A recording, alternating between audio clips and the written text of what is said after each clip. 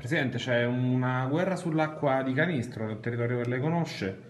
Eh, la società attacca il vicepresidente Lolli e dice l'unico che c'ha la tutenza è stato il presidente di Pangrazio. Come vede lei questo problema? Si può risolvere?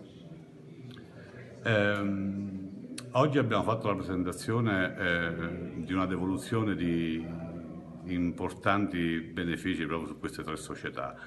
Anche le, le attività imprenditoriali che creano occupazione per noi sono di primaria importanza. Non a caso in questa legislatura c'è un, un assessore proprio dedicato alle crisi industriali.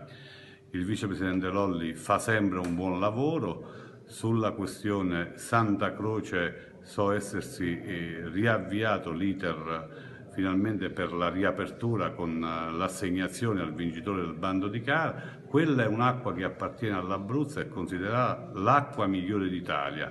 Non solo serve per creare occupazione, ma soprattutto per far conoscere il nostro territorio abruzzese che è fatto di eccellenze anche sulla qualità delle acque.